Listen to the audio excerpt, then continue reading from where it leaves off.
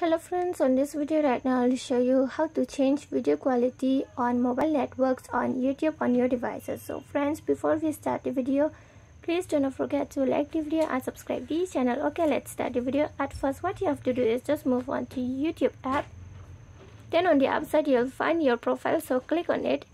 Then here what you have to do is just click on settings okay after clicking on settings you'll find video quality preferences so click on it here is the video quality on mobile networks.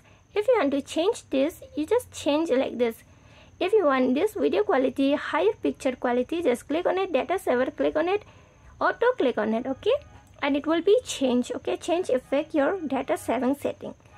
So friends, if you love the video, do not forget to like the video, share the video and subscribe the channel. And thanks for watching.